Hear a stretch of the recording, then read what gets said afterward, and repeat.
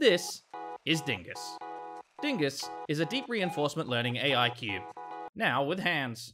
Dingus learns by exploring the world and seeing through a bunch of sensors, visualized on this screen as the flashing lines and spheres. Inspired by the ancient Greek tale of Sisyphus. Wait, no, Sisyphus. A king who was punished by cheating death by being forced to roll a massive boulder up a hill, only for it to roll back down every time it nearly got to the top. The challenge is for Dingus to push a boulder uphill, mostly, across a series of eight increasingly difficult levels, full of an assortment of difficult obstacles. Dingus is motivated by a reward function that gives him positive rewards as he gets further in a level, and negative rewards for falling off the mountain or losing his boulder. Will Dingus Sisyphilus accomplish all of his Herculean trials, or will he simply wind up as a purple paste on the bottom of the mountain? There's only one way to find out. Let's get to training. And so, a new Dingus is born into the world. Clueless about everything, he begins to explore and interact with his environment to figure out what gets him good rewards. After fondling the boulder for a moment and moving it slightly closer to the goal, he will likely associate the reward he's getting with pushing that boulder ever closer to the end of the level. Then, the ball rolls off the stage. When the ball falls off of the stage, Dingus gets a negative reward, which should teach him to try and keep the ball safe, at least over time. Now we're going to speed things up for a bit here. It's going to take time for Dingus to learn the fundamental ways in which he can engage with his environment and what gets him good rewards, which we will see in Fast Forward. Oh, actually, let's stop for one second. I, I don't know how he did that. As we continue to watch Dingus, we see that he's still taking a while to figure out that he needs to continue to push the boulder. Consider him basically like a baby that doesn't even know how to interact with his environment properly. It will take him a while to figure out that he can continue to push something up a hill. After a few more tries, we get this run, where Dingus finally realizes he needs to continue to push the boulder, until suddenly getting afraid of it or something? I'm not sure. He then begins to seemingly panic, realizing that he needs his ball, but it is far too gone at this point. And then finally, we have this one.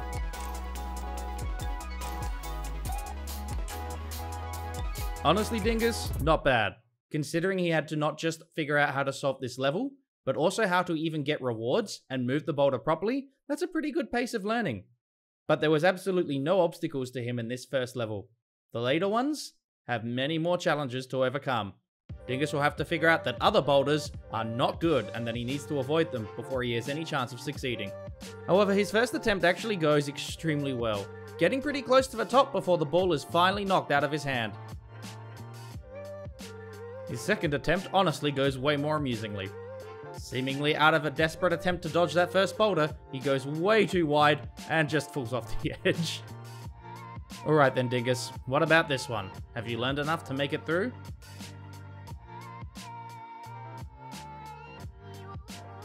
Apparently not. He lost the ball in the exact same way as before and catches a boulder for his troubles. At this point, it's not quite clear if he actually knows he needs to avoid the boulders. What about this run? He's clearly more actively dodging them now. A late swerve nearly costs him everything, but he still manages to get through to the end. A stylish finish, Dingus. Our next level introduces a new obstacle for Dingus.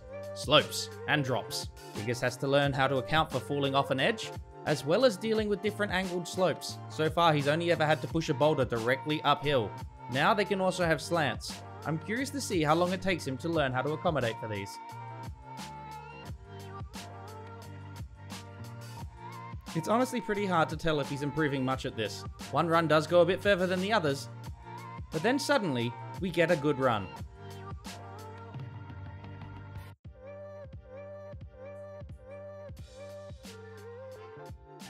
But what do you know? That didn't take long at all. But they really start ramping up in difficulty from now on. This level really requires that Dingus becomes a lot better with his dexterity. He has much smaller paths that he needs to push this ball through. And amusingly, at the start, he doesn't even seem to really know how to collect the ball that isn't right in the center of the stage. That's an interesting thing to uncover. You never know what slight changes might trip up an AI. This is the first run where he figures out how to actually pick up the ball. And uh, honestly, not too bad, Dingus. Oh, never mind. With each new run now, we can see successive improvements. He seems to be learning this level very quickly, much quicker than I honestly thought he would. Has he finally learned enough to get to the end?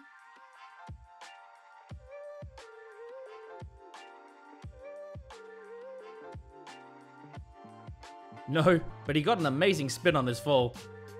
Alright then, what about one more shot, Dingus?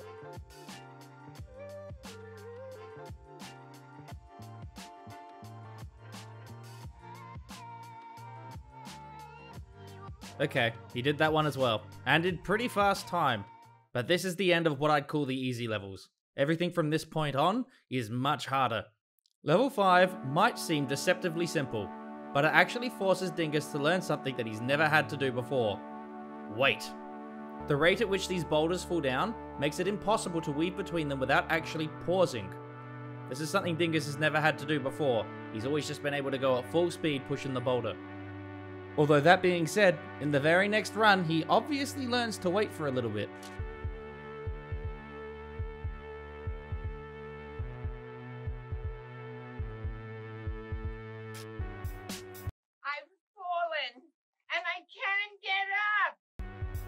We can see Dingus is having a lot of trouble ever getting back to that second platform. Finally, we get another shot at it.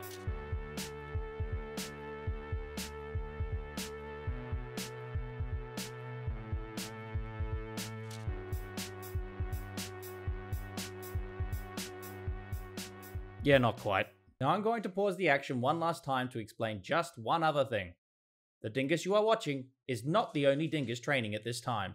There are, in fact, 54 other dinguses training in the exact same level at the exact same time, all feeding their experiences and learning into the one model at the same time.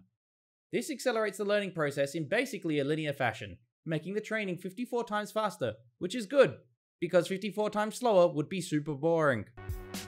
Dingus just keeps trying, old Sisyphus style. But unfortunately, he's just not making much progress. He's always getting stuck at the exact same point. This is an interesting one, though. Dingus gets clipped as he tries to dodge the original boulder. He fumbles his own boulder and can't get it back. He is so confused. Dingus keeps trying, but the second platform is a huge roadblock for him. He just really struggles to wait. Dingus is impatient, and he wants everything now. This ending's great, though. He loses his ball, and then he's just completely flummoxed, only to suddenly get completely smashed off the road. Soon, though, we get another promising run.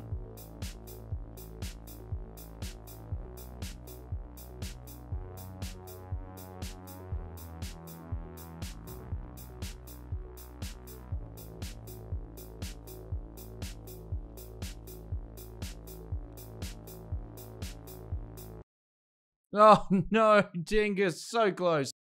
It does seem that he's made some sort of breakthrough though, because here's the very next run.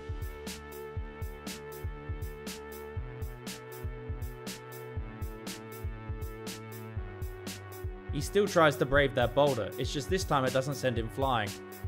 He uses that gap in time to actually go and speed ahead. He then waits again for the next boulder, and muscles his way through, I mean, that was a bit scuffed, but it was a legitimate success, and he did wait on two out of three of the platforms. So maybe he mostly understood? Anyway, next level. This is the ultimate slope level. Winning this level will require that Dingus learns to approach different slopes at different angles, and with different entry points. I expect this to be one of the harder challenges for Dingus.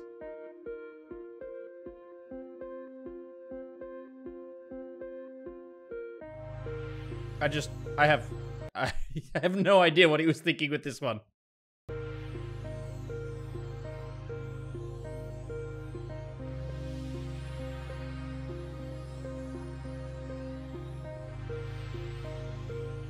That was crazy good progress. I did not expect him to pick up on that so quickly.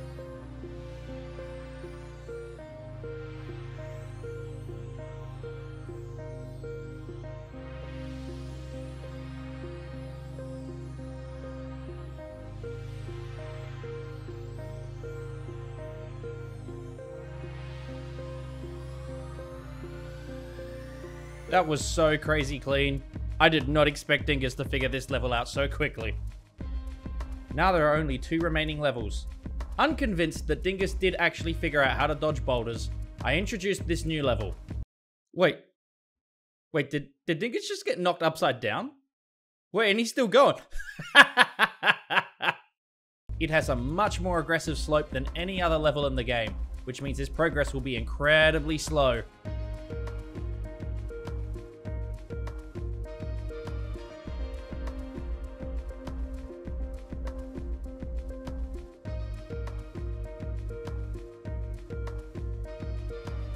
Yep, it sure seems like Dingus doesn't really know how to dodge boulders properly.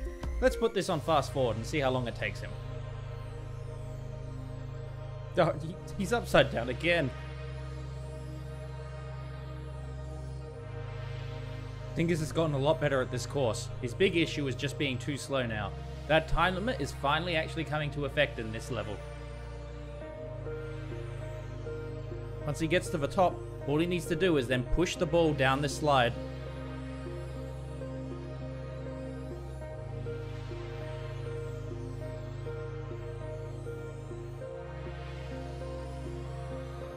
Oh, he uh, he wasn't meant to go on the slide with the ball, but I guess that works too. Well done, Dingus. And with that, there's only one level left. But it is by far the hardest level.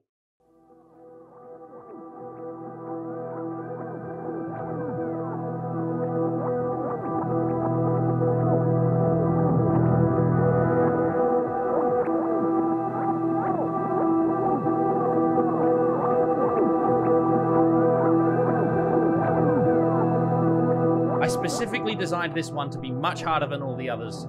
And so begins Dingus's hardest challenge.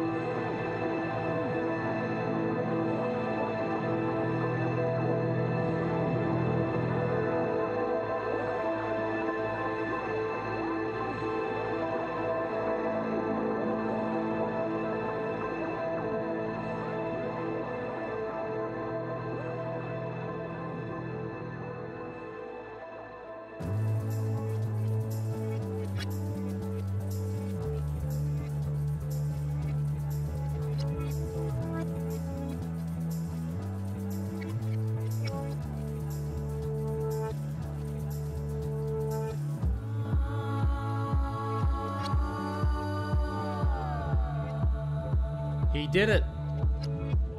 The little cube figured it out. Thank you everyone for watching.